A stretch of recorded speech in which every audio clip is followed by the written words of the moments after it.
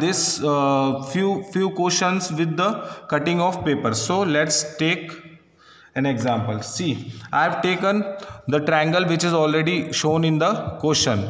So according to that it says that first fold the first fold the triangle from the middle. This was the first part. I have folded this from the middle. See i have folded this part from the from the middle. Now this one now from the top also in the second part from the top also. So from the top also I have folded. And then there's a triangle in the middle part of the triangle. Now start unfolding.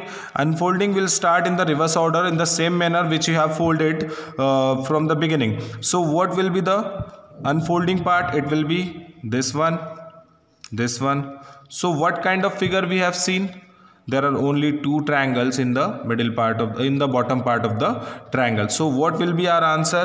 Our answer will be c. This will be our answer.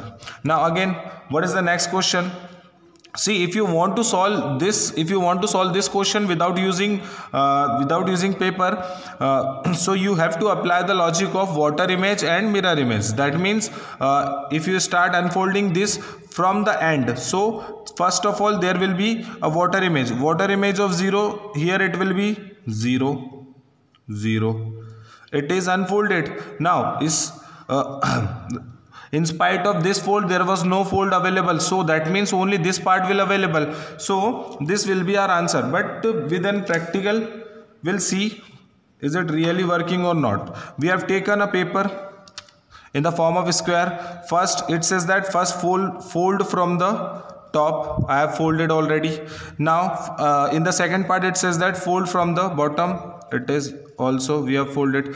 Then there is a zero circle we have put the circles in the middle and after unfolding if you unfolded this so see we can easily see what kind of figure we we are getting we are getting the figure which is related with C. So this will be our answer. Now come to the next part. Come to the next question. See,